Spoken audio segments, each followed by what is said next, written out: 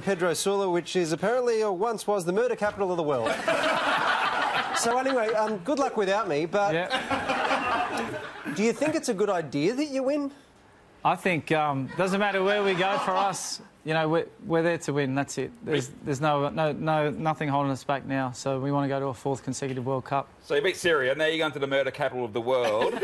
if you win this, I think you play ISIS. Um, All right, nothing to do with that so, but they're calling you the danger man. The coach is saying you're, you're the danger man. They've got to stop you.